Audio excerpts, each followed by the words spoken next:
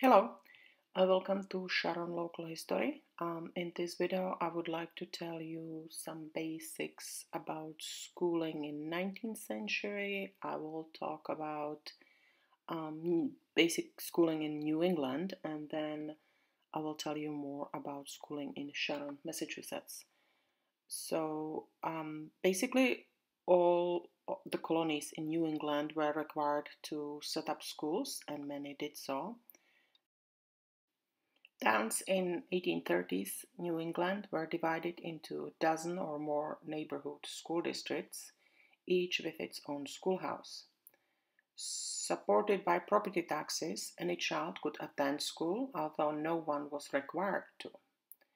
This easy access to education led to a higher rate of literacy in New England. In the late 1830s, most New Englanders could read, write, and do basic arithmetics. This was called three R's.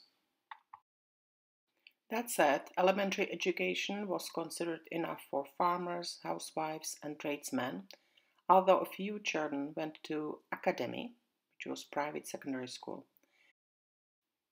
Only one or two professional men in any country town had attended college. One room schoolhouses were commonplace in rural portions of various countries. Um, in the United States, historic one room schoolhouse has widely been preserved and are celebrated as symbols of frontier values and of local and national development. Rural areas were just too sparsely populated to support multiple classrooms, so towns built one room schools about 20 by 30 feet large. All of the students met in that one single room. Most buildings were of simple frame construction, some with the school bell on the cupola. In some locations, the schoolhouses were painted red, but most of them were white.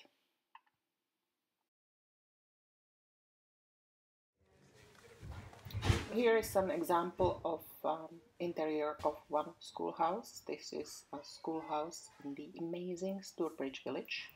You can see simple uh, one room uh, classroom with wooden desks and um, benches, a simple floor that's sloping right here so the students on the back could see the teacher. This is the teacher's desk.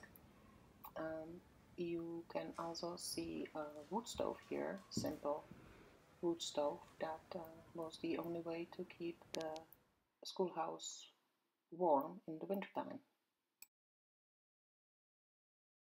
Before students enter the classroom, they usually took off their coats, especially in wintertime, and um, hang them outside of the classroom on the coat hangers. Simple and practical. Using the bathroom was no fun. This is um, an outhouse that is next to the schoolhouse at Sturbridge Village. So yes, children had to leave the building whenever they needed to use the bathroom, no matter what the weather was like.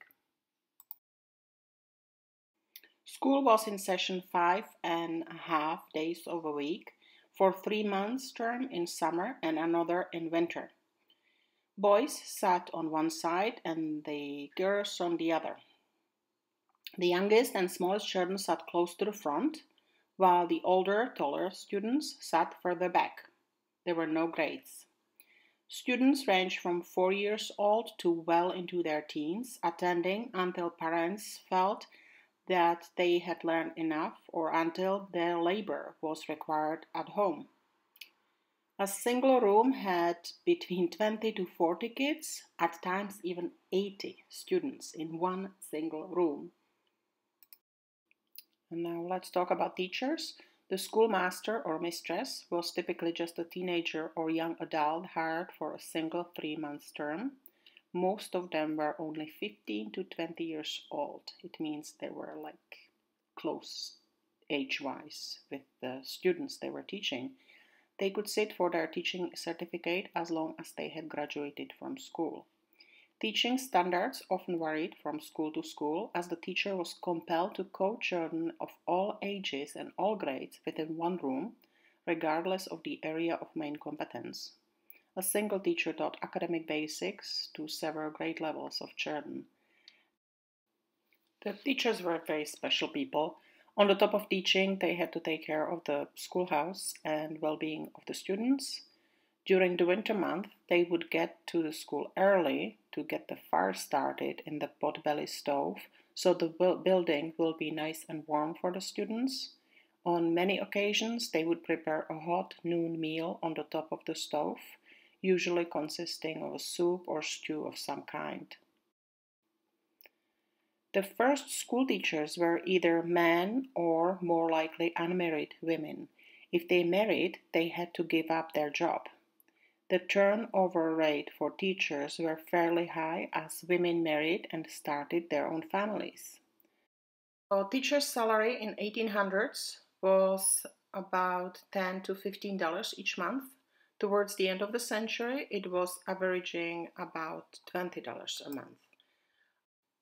So the teachers didn't really make much money. A male teacher and his family often lived in a home next to next door to school uh, it was usually a smaller building attached to school. It was called teacherage. Women teachers would be housed with one of the families whose children attended the school. Um, often they had to share a room with the children. Apparently, teachers weren't allowed to attend public performances or dances. Male teachers were permitted to date one night a week or two if they attended church regularly. A typical school day was from 9 a.m. in the morning until 4 p.m. in the afternoon. The kids had recess a few times a day for about 15 minutes, and they had one hour period for lunch. Children from the age of five would go to school daily through the week, and then on weekends would be expected to come back and help to clean up the schoolhouse. The younger students would be given responsibilities according to their size and gender, such as cleaning the blackboard, taking the erasers outside or for dusting, plus other duties that they were capable of doing. The older students were given the responsibility of bringing in water, carrying in coal or wood for the stove. Teachers had to be creative and work with whatever supplies they had they used memorization, reciting, and oral testing to teach reading, spelling, spelling, arithmetics, and history.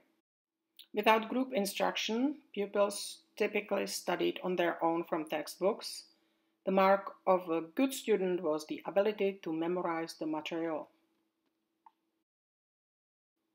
Many parents could not afford textbooks, and so they sent their children to school with any book from home, usually the Bible, for instructions in reading. Sanford Waters Billings was a resident of Sharon. He was a politician as well as teacher, an incredible person. And he had written a piece of legislation by which textbooks were purchased for students from the state funds relieving parents of the expenses and thereby ensuring that every student had a textbook. We have a video about um, Sanford Waters Billings on our channel. Please feel free to check it out. Discipline could be difficult at times, especially when some of the older boys were taller than the teacher herself or himself. Infractions were dealt with swiftly and often severely, Corporal punishment with hickory switches and rulers was not unusual.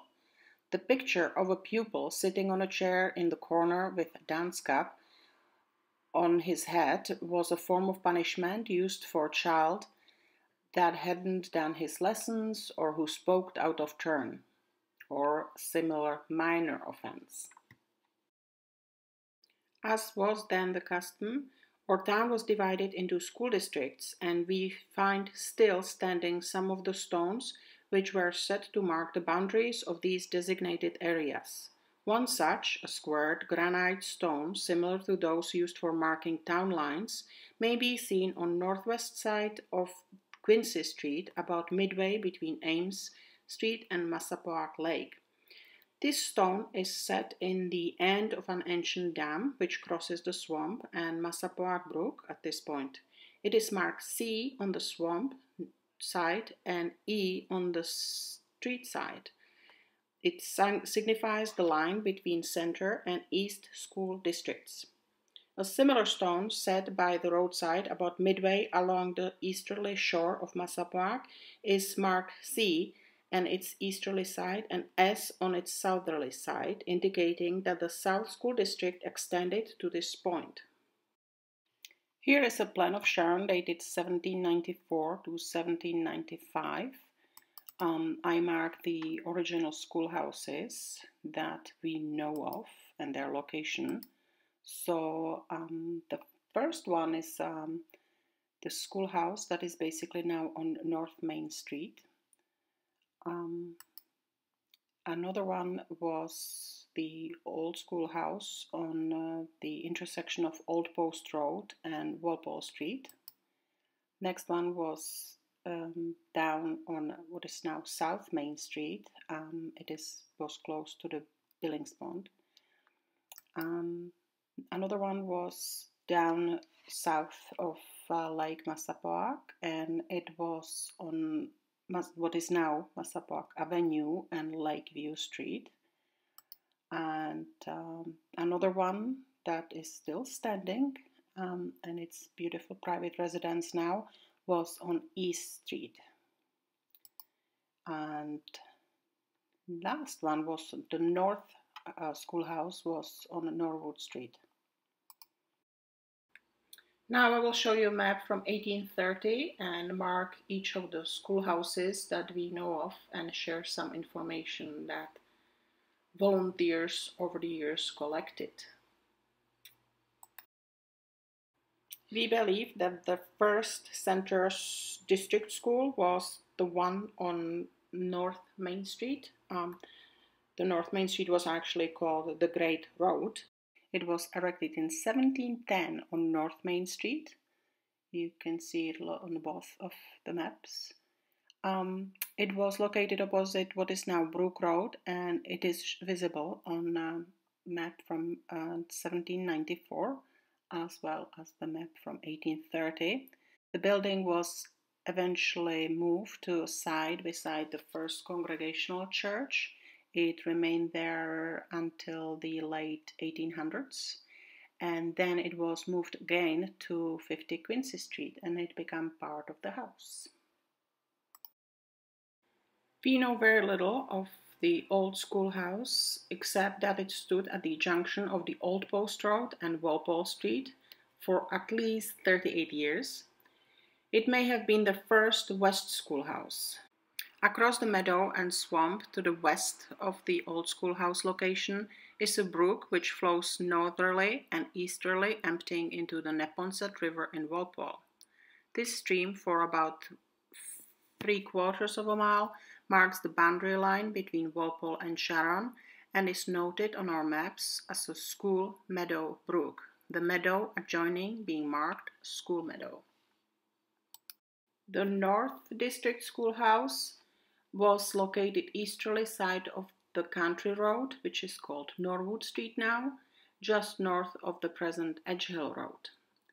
This building stood until March 25, 1910, when it was burned down in a forest fire which ravaged this section. Advantage was later taken of the stone foundation for the erection of a bungalow upon this spot. It's 10 Edgehill Road now. The West School District House, also called Little Red Schoolhouse, was built sometime before 1800s. The schoolhouse stood until 1869 on the westerly side of Moose Hill Road near South Main Street. This schoolhouse was replaced in 1869 for improved new building. In the early 1900s, the property was sold and it is a private home now. The South District Schoolhouse, which stood at the corner of Mansfield Street, which is now called Massapoag Avenue, and Lakeview Street, was destroyed by fire in the 1920s. leaving a balance of one cellar hall to the credit of educational institutions in that vicinity. The burning of this schoolhouse is a mystery. Um, the there was another schoolhouse in Foxborough and another in Easton, and they also succumbed to the torch in the same manner and on the same night. Our schoolhouse he referred to was sometimes known as the New South School and was not the first in this district. As early as 1794 and probably much earlier, one was located at the corner of former Morse and Mansfield, Lakeview Streets, near the old Tolman House, and about a quarter of a mile northward, northerly of the above. This was called the Meshepoak School. The last, but certainly not least, is the schoolhouse on East Street. Um, the first East School was built on the opposite side of the road. It was remodeled and eventually became a private residence. The second schoolhouse representing this district was built prior to 1830s on the site of um, former Stanke House. This was destroyed by fire of unknown origin in March 3rd, 1877, and immediately after was the third and still existing schoolhouse built. This house was also remodeled and eventually became private residence. By 1903, Sharon parents became dissatisfied with the lack of a well at the South School, the shabby conditions of the North School, and the closing of the West School for six days when no substitute could be secured for a sick teacher. Parents of the districts renewed their demand for a Center School with transportation provided. By 1907, all the district schools were closed and classes were consolidated at the Center School. We are almost at the end of our video. Um, it is important to mention that schools in Sharon were at first poorly attended. Some families, burdened with the daily responsibility of making a living, required that their children stay at home and work on the farm. Massachusetts became the first U.S. state to enact a compulsory education law in 1852, having already passed a similar law in 1647 when it was still a British colony. The 1852 law required every city and town to offer primary school, focusing on grammar and basic arithmetics. The state began requiring children between ages 8 and 14 attend school. Thank you for watching Sharon Local History. This was just part one about uh, education in Sharon. Uh, we will continue with part two and most likely three. Thank you.